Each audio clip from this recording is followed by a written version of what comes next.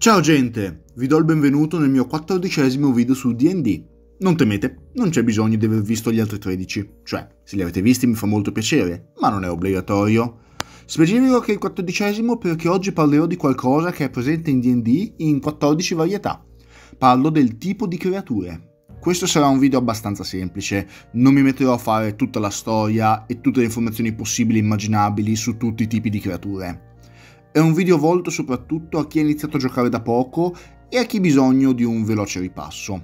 Perché sì, per giocare a DD basta la voglia di ruolare, ma non ci sarebbero manuali di centinaia di pagine se l'aspetto meccanico fosse inutile, specie perché alcuni di questi tipi di creature vengono citati in alcuni privilegi di classe a livello 1, mentre per altre classi ci sono molti incantesimi che parlano di una creatura e quindi vanno bene per tutti, ma alcuni specificano il tipo di creatura e quindi non si può bersagliare chiunque.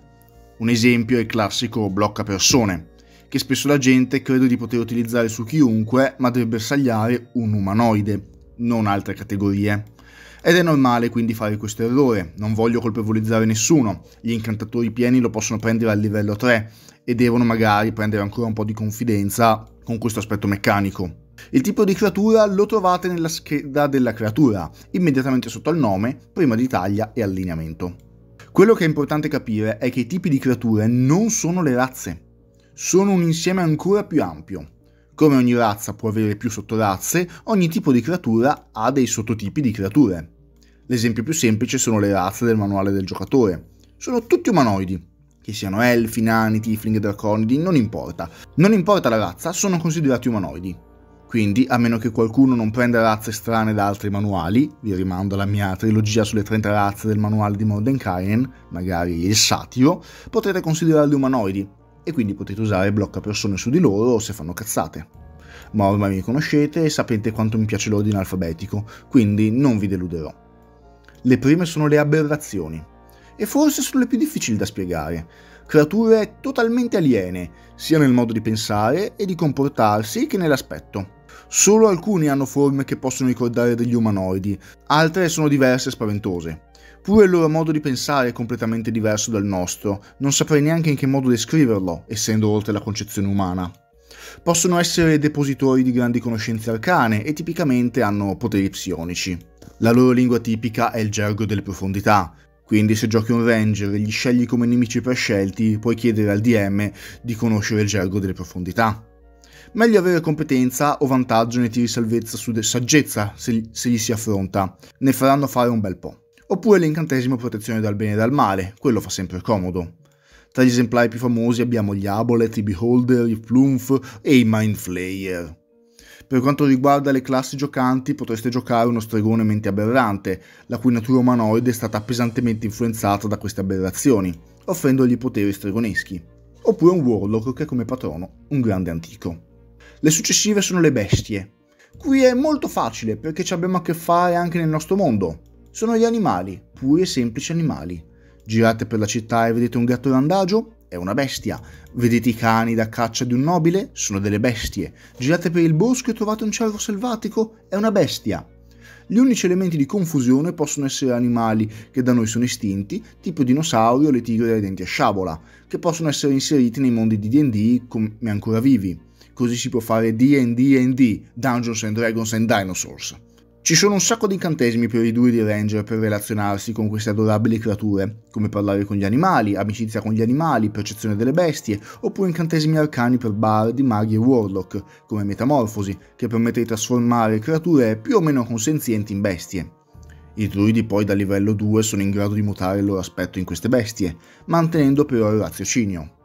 I barbari del cammino totemico sono anch'essi legati alle bestie, visto che la loro ira si ispira ad esse e possono lanciare alcuni incantesimi sopracitati come rituali. Fate attenzione che i mannari non sono bestie e non lo sono neanche i tanto amati orsogufi o grifoni. I celestiali sono quelli che chiamiamo comunemente angeli, anche se il termine più corretto è abitanti dei piani esterni superiori. Non solo, anche altre creature come unicorni o pegasi sono celestiali.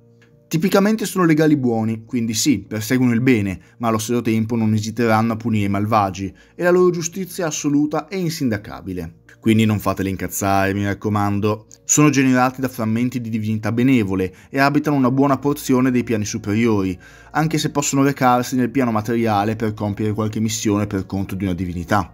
Un modo per affrontarli sono gli incantesimi protezione dal bene e dal male, o a livelli più alti dissolvi il bene e il male. Occhio che la maggior parte di questi celestiali sanno riconoscere rapidamente verità e bugie, la loro lingua principale è celestiale, in caso qualche ranger volesse cacciare per qualche ragione i celestiali. Possono essere percepiti facilmente con l'incantesimo individuazione del bene e del male, oppure con la percezione del divino tipica dei paladini.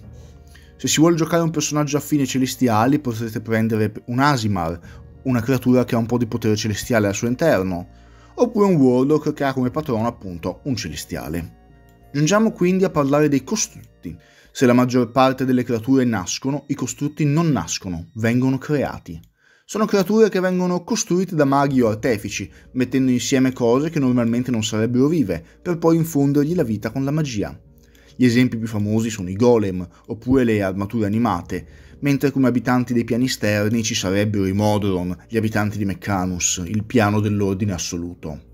Modron è anche la lingua del loro popolo, quindi è quella che un ranger che sia concentrato sui costrutti potrebbe chiedere di conoscere. Normalmente sono dotati di numerosi punti ferita e resistenze, quindi è sempre meglio avere armi magiche quando gli si affronta. Si può anche provare a costruirne uno con l'incantesimo evoca costrutto, oppure con l'oggetto magico manuale dei golem, ma lì le spese economiche sono molto ingenti, quindi valutate bene. Specie perché la stragrande maggioranza degli incantesimi di cura non funzionano sui costrutti anche se alcuni si possono curare con il trucchetto riparare, che essendo un trucchetto è utilizzabile all'infinito. Puoi giocare una cosa simile a un costrutto, senza tuttavia esserlo, giocando un forgiato, visto che sei una specie di robot senziente. Tuttavia è importante ricordare che sei un umanoide e quindi le cure magiche le prendi comunque. Le alternative sono l'incantesimo animare oggetti, l'artefice fabbro da battaglia o il bardo collegio della creazione. Passiamo poi alle creature che appaiono nel nome del gioco i draghi. Sono creature simili a giganteschi rettili dall'immensa potenza.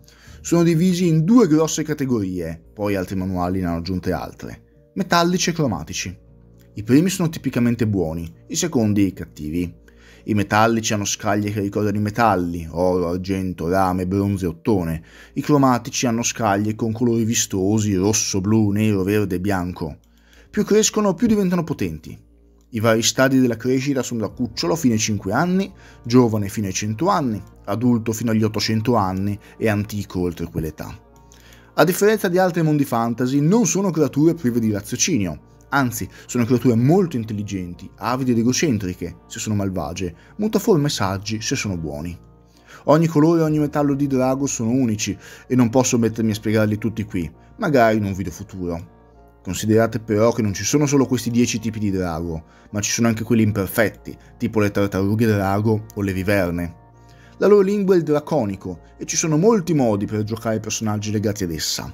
La razza del draconide, per esempio, che ti rende un umanoide con le fattezze di un drago antropomorfo, oppure lo stregone discendenza draconica, il monaco della via del drago ascendente, oppure il ranger Drakenwarden, che stringe un patto con un draghetto che cresce con il tempo. Passiamo ora agli elementali. Sono legati principalmente ai quattro elementi empedoclidei, acqua, aria, fuoco e terra, anche se esistono alcuni elementali che sono anche dei quattro incroci tra questi elementi, come cenere, ghiaccio, fango, magma, o anche altre cose tipo il fumo o il vapore. Sono spiriti di materia grezza non plasmata, con una potenza brutale raramente accompagnata da intelligenza, quindi sono facilmente manipolabili dagli incantatori. La loro lingua è il primordiale ed è divisa in quattro dialetti mutualmente comprensibili, Aquan, Auran, Ignan e Terran. Chiunque parli uno di questi dialetti comprende e riconosce anche gli altri tre, nonostante le differenze. Per difendersi da essi ci si può usare protezione dal bene e dal male, oppure dissolvi il bene e il male.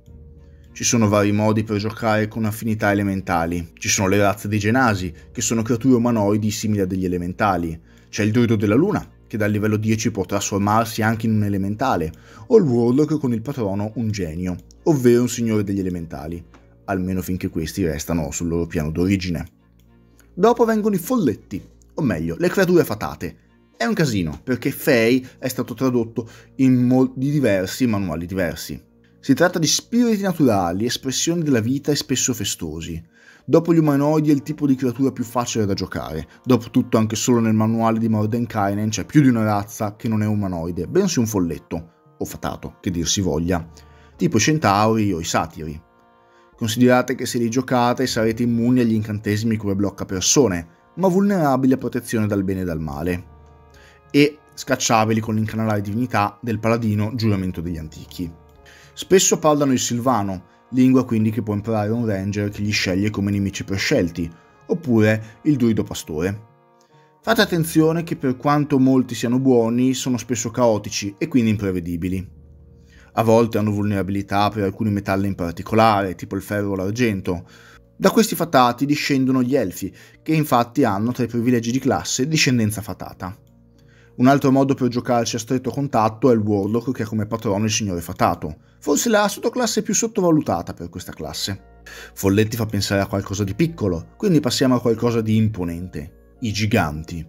Molti li considerano umanoidi, ma non sono considerati tali, in quanto sono molto più antichi e strutturati in un modo ben specifico.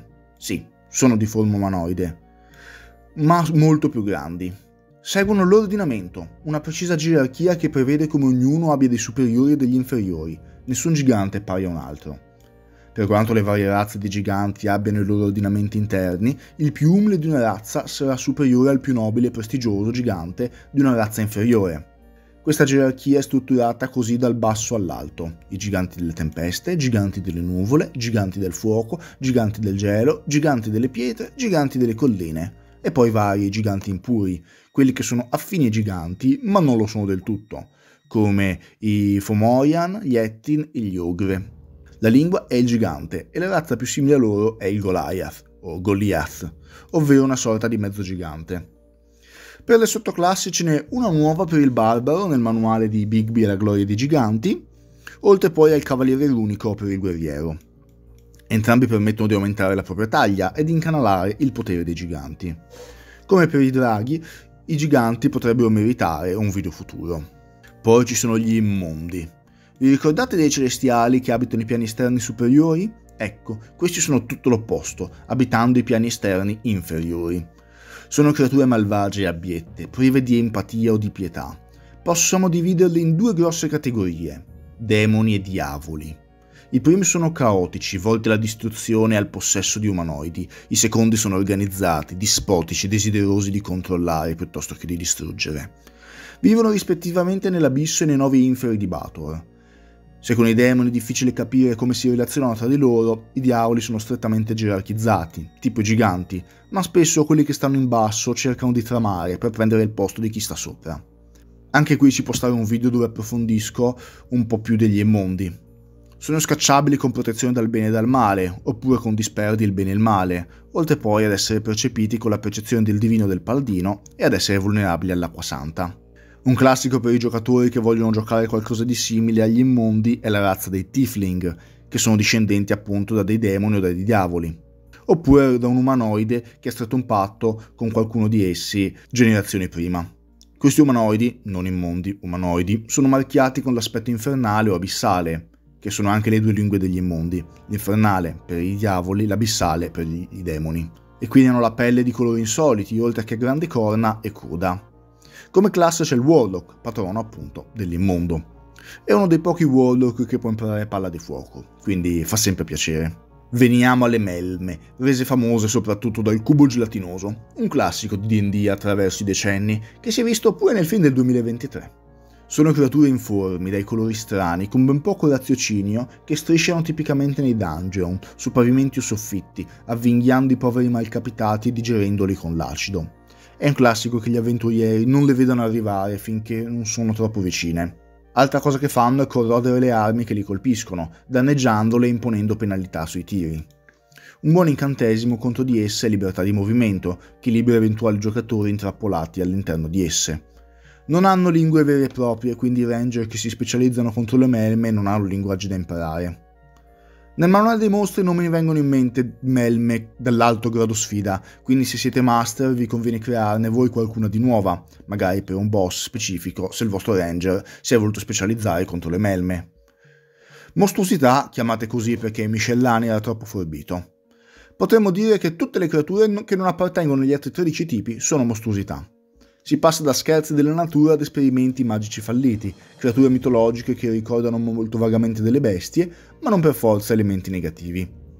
Possiamo trovare i centauri o alcune sfingi, che sono buone, ma anche molte creature manchevoli di intelletto sufficienti a fargli capire cos'è il bene e cos'è il male. Occhio alla distinzione tra bestie e mostruosità, che magari è sottile incantesimi per parlare con gli animali, amicizia con gli animali o percezione delle bestie non funzionano sulle mostruosità, anche se hanno fattezze bestiali, tipo l'orso gufo o il grifone. Come varietà sono seconde solo agli umanoidi, quindi anche i linguaggi sono vari. Il minotauro parla l'abissale, il centauro l'elfico e il silvano. A volte possono formare società e in certi casi si può parlare anche di civiltà. Sono comunque considerate mostruosità, ma forse questo termine può confondere un po' le idee. Andiamo su qualcosa di più definito, i non morti. Il classico zombie non possiamo dire che è morto, perché si muove, ma chiamare quello stato vita è offensivo verso la vita, quindi si può parlare di non morte. Gente che è rinata, ma non del tutto. È uno stato in cui non c'è bisogno di mangiare o bere, o anche solo respirare, in cui il passare attraverso la morte ha depravato completamente l'etica e la morale del non morto e ne ha lacerato l'anima, se un'anima ancora ce l'ha. Quelli più deboli sono usati come servitori senza cervello da incantatori, che li controllano, mentre quelli di livello più alto possono essere gli incantatori stessi. Un classico sono i Lich, maghi che nel desiderare sempre più conoscenza hanno abbracciato la non morte. Non sempre questi non morti hanno ricordi di chi erano in vita, solo alcuni ce li hanno. Non hanno una lingua vera e propria e sono facilmente affrontabili da chierici, che hanno un privilegio a livello 2 chiamato incanalare divinità. Gli offro due opzioni, una che dipende dal dominio divino, l'altra è comune a tutti e serve a scacciare i non morti e, a livelli più alti, distruggerli. Pure i paladini sanno individuarli facilmente, con la loro percezione del divino. Poi un dominio divino in particolare, ovvero quello della tomba, offre sensi speciali apposta per individuarli. Anche loro sono vulnerabili all'acqua santa, come gli immondi, e non possono venire curati dalla stragrande maggioranza degli incantesimi di cura, come i costrutti. Per giocare qualcosa di simile c'è il lignaggio del rinato nella guida di Ravenloft, che serve per fare un personaggio morto ma tornato in vita con qualcosa fuori posto. Saresti comunque un umanoide, non un morto. Oppure c'è il mago della necromanzia che fa un sacco di non morti, anche come il chierico della morte, e un po' pure il druido delle spore. C'è una supplica occulta del Warlock che ti permette di lanciare animali morti gratis, disponibile per tutti i patroni, anche se per questioni di roleplay certe volte è meglio evitare, tipo se il patrono è un celestiale. Oppure c'è anche il patrono del non morto, proprio per chi volesse specializzarsi lì. Abbiamo poi gli umanoidi, già tanto citati, ma poco approfonditi. La maggior parte dei personaggi giocanti sono umanoidi. Ci sono umani, gli elfi, i nani, gli gnomi, i tiefling, gli alfing, i draconidi, sono tutti umanoidi. Hanno tutti aspetto vagamente simile agli umani, sono bipedi, due braccia, due gambe, un volto definito, una simmetria assiale almeno all'esterno. Hanno una biologia simile, seppure come comportamento e aspettativa di vita siano fortemente diversi. Anche le società che si formano sono molto diversificate, a volte anche all'interno della stessa razza, formando quindi sottorazze. È un gran casino. Un ranger con nemico prescelto può selezionare due razze di umanoidi al posto di un tipo di creature più generico. Tipicamente le razze hanno le loro lingue, quindi lì sono più facili da scegliere. Se tipo scegli gli orc imparerà l'orchesco, se scegli i goblinoidi imparerà il goblin. Per gli incantesimi molti di quelli a basso livello, tipo blocca persone, hanno come limitazione proprio gli umanoidi, quindi sono abbastanza facili da utilizzare. Finiamo con i vegetali. Sono creature dall'aspetto e dalla natura di piante o cose simili. Attenzione, anche se hanno l'aspetto di funghi sono comunque considerati vegetali, seppure la scienza li differenzia fortemente piante e funghi. Aspetto legnoso e per avere energia fanno la fotosintesi, anche se alcuni sono comunque carnivori. Nonostante le piante dovrebbero essere prive di un sistema nervoso, hanno comunque un'intelligenza per parlare in uno o più lingue, tipo il silvano o il druidico. Alcuni sanno distinguere il bene e il male, tipo i Twigblig che sono malvagi, mentre i Trent sono buoni non sono vere e proprie piante. Non è che se vuoi combattere contro una betulla consideri la betulla una creatura vegetale, la consideri un oggetto inanimato. Per un'esperienza di gioco affine consiglierei personaggi basati sulla natura, come druidi, ranger, chierici della natura o paladini degli antichi. E per gli incantesimi utili contro di loro sarà banale, ma tutto ciò che fa danni da fuoco è utile, visto che spesso hanno vulnerabilità a quei danni. Molto bene, il video si conclude così, ditemi se vi è piaciuto, mettete un mi piace in caso, in caso contrario non mi piace, quale di questi 14 tipi di creature è la vostra preferita, iscrivetevi al canale, attivate la campanellina, noi ci risentiamo il mese prossimo. Ciao ciao, alla prossima!